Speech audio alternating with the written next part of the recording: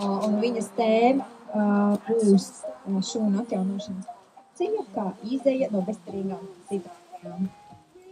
Elga, Nedne.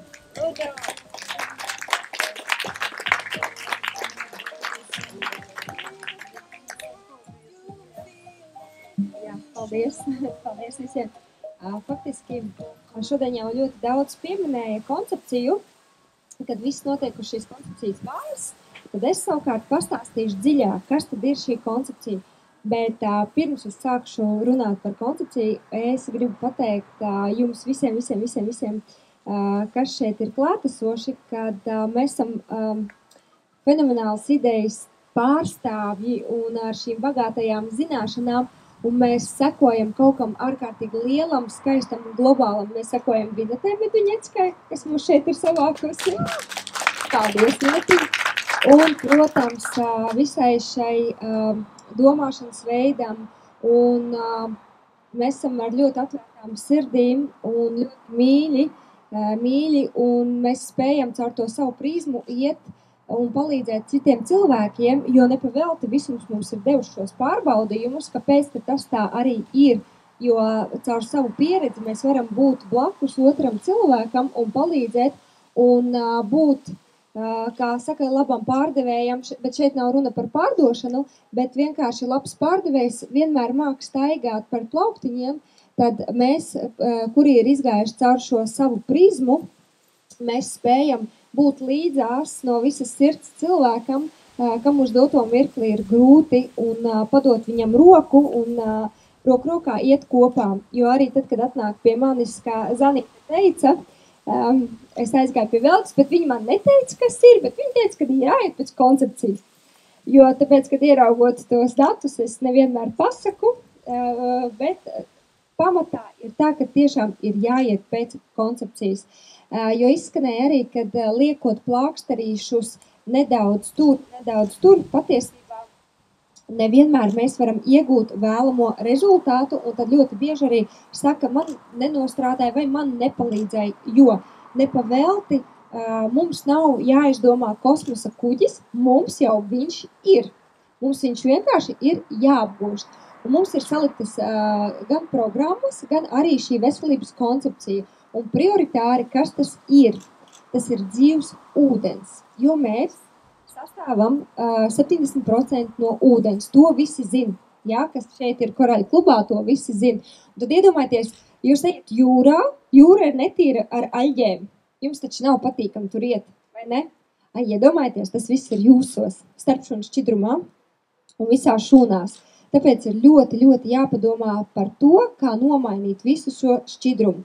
Un arī um, daudzi oponē pie tā, ka es dzeru ūdeni, es dzeru 3-4 litrus ūdeni, un man vienalga nekas nemainās, bet saku, bet kādu ūdeni dzer? Un uh, tas pamats ir dzīvs ūdens.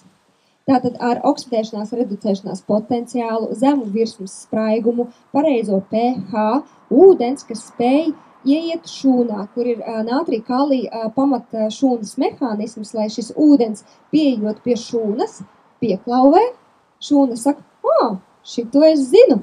Attais viņam durvis, viņš iet iekšā, visus, visu lieko, kā arī visās praksēs saka, kad viss vecais no mājas ir jāizmet ārā, tad šūna saka, ņem visu veco, izmet ārā, šis ūdens savāc un aiziet, aiziet to projām.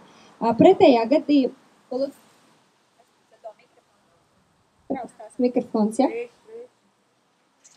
Es varu ieiet kaut kur uļņos. Es varu būt aizkatra balss. Uh, tātad uh, visu to mēs ļoti labi, tad tas ir, tas ir tā jau ir pirmā uh, šī atslēga pamats, jo uh, ūdens tā ir dzīvība, tas ir plūstoši viss. Un tāpēc uh, es arī varu skaļi runāt. ne? Nav būt skaļi basot tas ar mikrofonu. Nu, lūk, tāpēc uh, pirmais, kas mums ir jāizdara, jāiztīra tas mūsu saucamais basēniņš. Mūsu jūrai ir jābūt tīrai.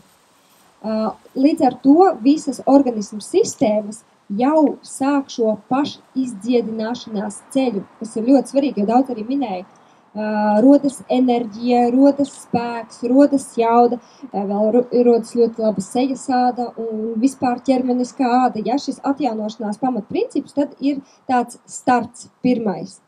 Uh, nākamais ļoti svarīgi, ko daudzi arī minēja, ir zarnu trakta tīrīšana.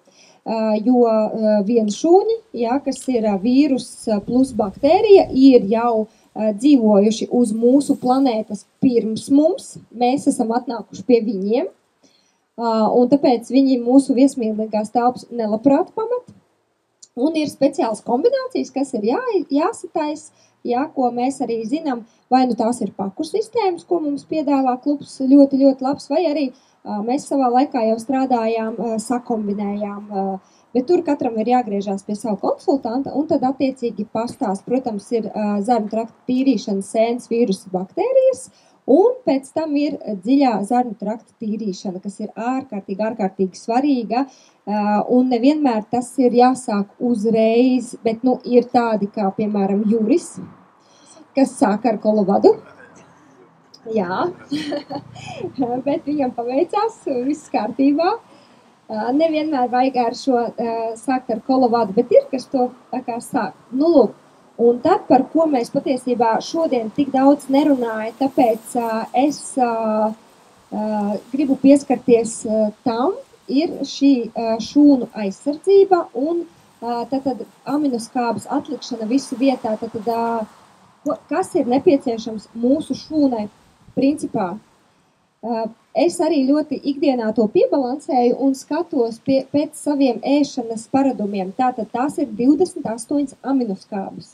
Tas ir nepieciešams katru dienu. Tāpat kā jūs ejat uh, uz toleti, gulēt, jā, jebko, ko jūs darat, tas viss ir nepieciešams šūnai katru dienu. Tātad šīs 28 aminoskābes, 15 uh, vitamīni, mikro, makroelementi, uh, fermenti, principā bez fermentiem, ko mēs ļoti bieži vispār neaizdomājamies, ja bez fermentiem mūsu imūnai sistēmai ir ļoti grūti, un neaizstājumās taukskāpes, kas ir omega lectīns, viss, tad, tad tam vajadzētu būt katru, katru, katru dienu. Un tas būtu tāds koncepcijas pamats. Ejam solīti pa solītim, ļoti individuāli, kam vairāk, ja, un kam mazāk katru no šiem procesiem viņš tomēr, viņš tomēr taisnoja. Tas ir uz sesto gadu. Vai to? Vai to? Vai to? Sestais gads mums.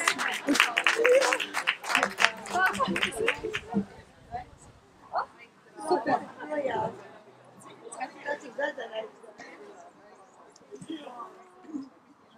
Oh, es kā, nu tagad es neraustīšos. Nu, lūk,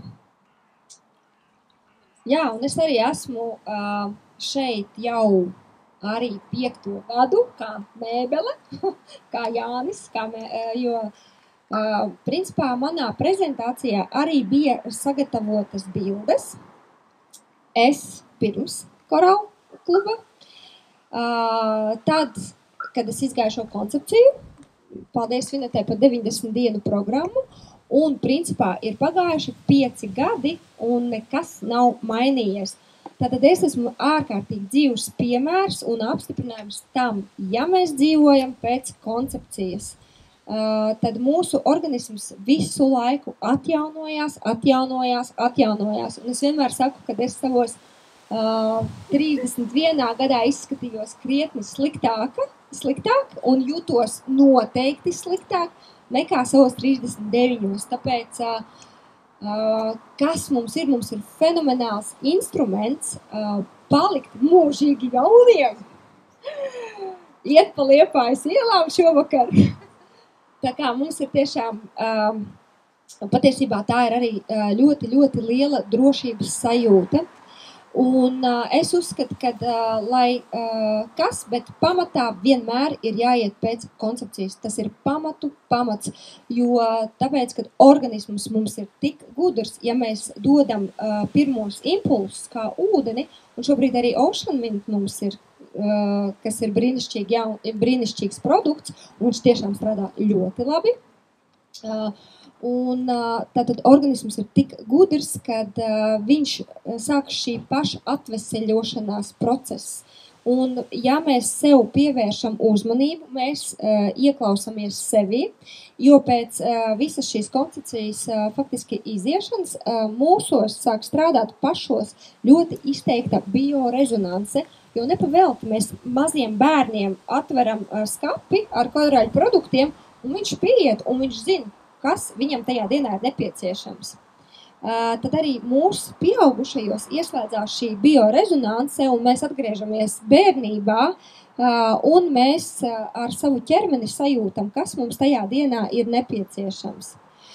Un mana tēma arī vēl turpinās no bezcerīgām situācijām, caur koncepciju uz atlapšanu, jo, jā, jo parasti cilvēki lielākoties pie mums, pie nutriciologiem, nokļūst ar tādām mapēm, ar manā praksē ir ļoti, ļoti daudz analīzes, ja, kad ir slikti un tiek dots viss kaut kas klāt un paliek ne labāk, bet vēl sliktāk. Un patiesībā ļoti žēl, ka es nevaru parādīt to video, bet pie mums arī griežas medpersonāls. Un uh, pie manis arī griezās, uh, šobrīd mēs jau esam tādas, viņai starp citu šodien ir dzimšanas diena, Uh, jā, Kristīnai, un viņa arī ir medpersonāls, viņa ir ārsts, viņa uh, operē uh, sirds asinsvadus.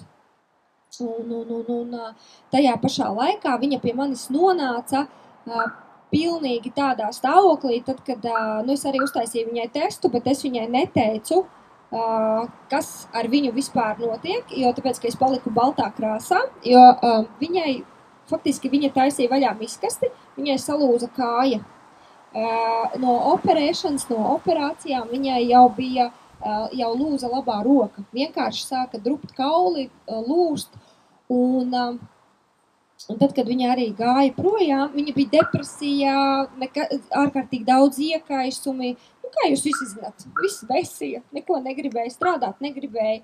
Uh, un viņa gāja prom, viņa man saka, uh, kas man ir jāizdara, nu, tā kā, cik man tā kā jānoreikinās. Un es viņai teicu, uh, nekas, tikai vienkārši dari visu, ko es tev saku, lai tu vari palīdzēt tālāk cilvēkiem, jo ne visi cilvēki iet ar to koncepciju, un ir arī vajadzīgi šādi cilvēki, un tad viņa arī piekrita ierunāt šo video, viņa teica, Velgu, es tev ierunāšu šo video cilvēkiem, jo tāpēc, ka tiešām tas glābi dzīvības, tas uh, atgriež dzīvē, jo kopš es satiku korālu klubu, mana dzīve ir mainījusies par 360 un vairāk grādiem, jo es gribu iet, es gribu darīt, es pārvērtēju savu dzīvi, es dzīvoju krāsaini. Un tas jau ir pats skaistākais, kad mēs šeit dzīvojam krāsaini, un, un faktiski mums nav jābaidās par rītdienu, un tas iedvesmo, un tas, iedomājieties, tas uh,